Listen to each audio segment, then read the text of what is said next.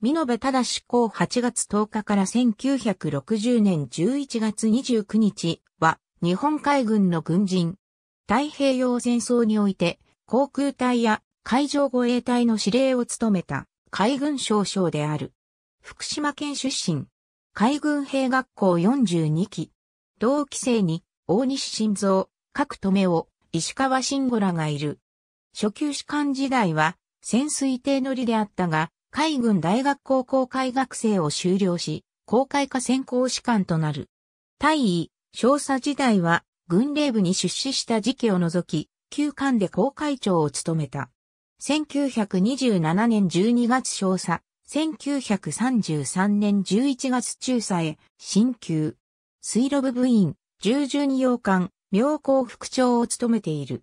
1938年6月に、立山海軍航空隊副長となり、これ以後航空部隊の指揮官を歴任する。陳海海軍航空隊、呉海軍航空隊の各司令を経て、岩国海軍航空隊司令に転じ、太平洋戦争の開戦を迎えた。なお、開戦前に連合艦隊の各長官、参謀長が最後の打ち合わせを行ったのが岩国基地であった。この間の1939年11月15日に大佐へ進級している。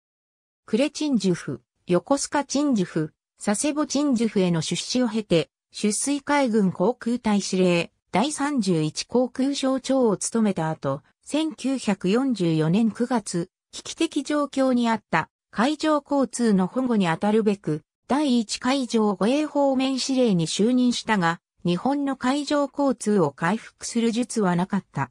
1945年5月1日少将へ昇進。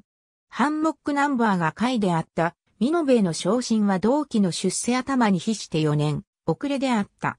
1946年2月5日、予備役編入。